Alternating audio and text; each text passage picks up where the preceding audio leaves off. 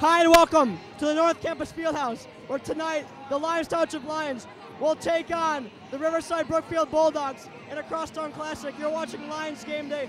My name is John Lombardi. With me, Aaron Nelson and Cam Mariana, and all these LT fans are all here watching Lions Game Day. After a great season last year, Lions finishing with a record of 26 and 2, but losing to Simeon in the sectional semifinal here at the North Campus Fieldhouse. LT losing a bunch of big seniors, including Dan the Line, Justin Phipps, Austin Lusson, Jimmy Stamus, and Jordan Hester. Huge losses for the Lions, Aaron. Oh yes, you know it's going to be really hard to replace those seniors from last year. But you know what? I think we have a really good squad t- today, and they're going to play great. They're going to do just fine.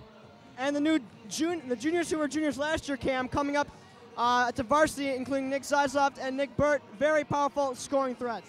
Yeah, definitely a very strong senior class all around.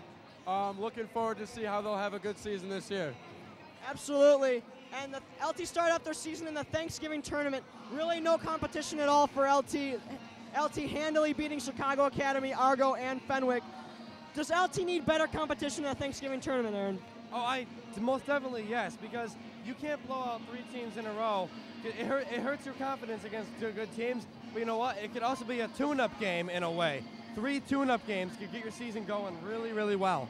So do you think the bad competition and the blowouts help or hurt LT? I definitely think it helps LT. You know, it's a good confidence builder early in the season. Helps us hit the ground running, you know, start off the season well and get everybody knowing what they're doing, when they got to be doing it, and all that. Aaron, give us your LT's key to the game. What, do they, what does LT have to do tonight in the rivalry game? Well, it's very basic. Don't force the occasion, as in being smart with the ball. If you have a layup and you're not and think you're going to get blocked, pass it out to someone who's open. Don't just force the occasion and try drawing a foul. You might not get it. Moving to Riverside Brookfield, always a tough opponent for Lyons Township. Always play us tough. Definitely uh, a tough opponent. In the last years against R- RB, last year LT winning 74-65. In the 2008 edition, LT losing 59-56.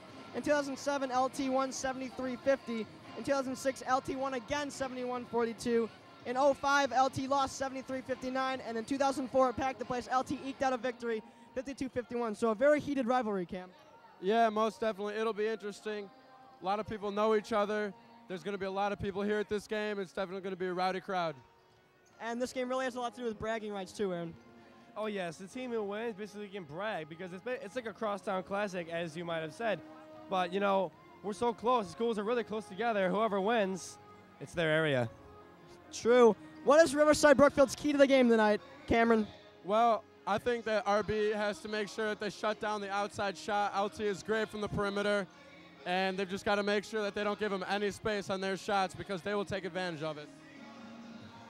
Absolutely. And we're going to take a look at some scores from last night, Friday night, December 3rd. De La Salle took, took care of St. Rita 67 60. St. Ignatius beat Fenwick 53 40. Loyola killed Gordon Tech 61 37. Benet beat St. Patrick's 53 37. That's CN100's game of the week. RB put up 80 against Elmwood Park in an 80 43 win. Prospect barely beat Rolling Meadows 55 52. Mundelein beat Lake Zurich by 2 60 58.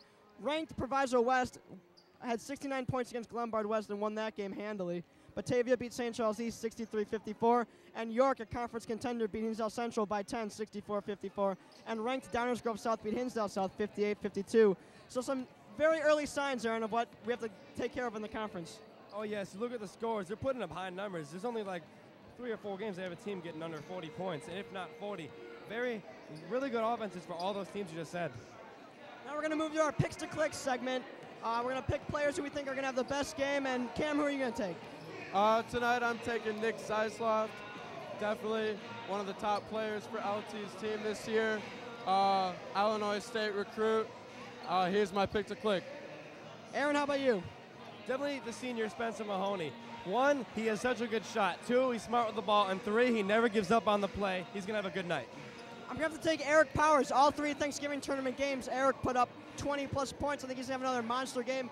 And he's the key. And I think that this crowd is really ready for the game, too. The Lions Den getting ready. Well, we'll see you guys up in the booth. That's it for Lions Game Day. Thank you for watching. LT and RB coming up next. Thank you.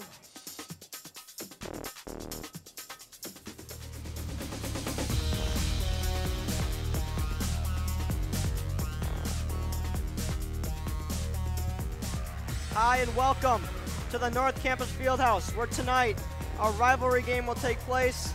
It's snowy outside, but it's warm in here as the Lyons Township Lions are getting set to face off against the Bulldogs of Riverside Brookfield High School. The LT Crosstown Classic with RB continues. My name is John Lombardi. With me, Cam Mariana and Aaron Nelson. Aaron, huge game to look forward to. Oh yes, definitely. This is probably going to be LT's first game of it's actually like competition. You know, you look at all the other games, it's been blowouts for LT, but our